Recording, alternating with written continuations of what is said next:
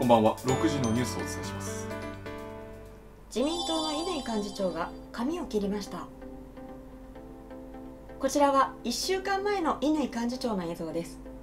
そしてこちらは今日国会に姿を見せた時の映像。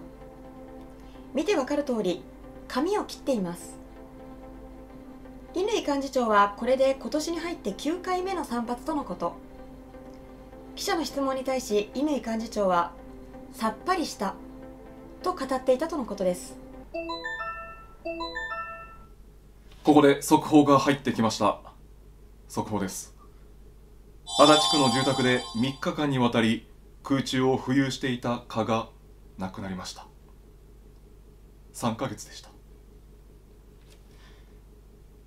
蚊は3日ほど前から足立区に住む男性宅の家に入り3日間ほど空中を浮遊していましたがつい先ほど亡くなりました。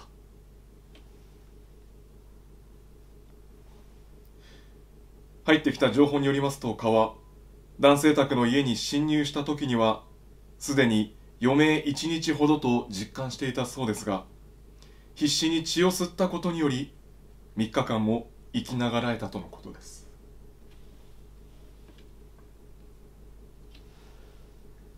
失礼しました。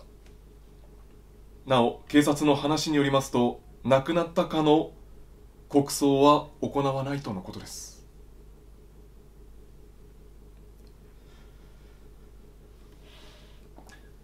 ご冥福をお祈りいたします。